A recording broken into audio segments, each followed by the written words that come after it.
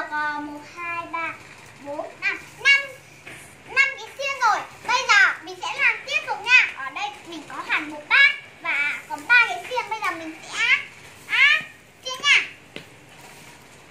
Vô ký ức Ngon lắm luôn các bạn.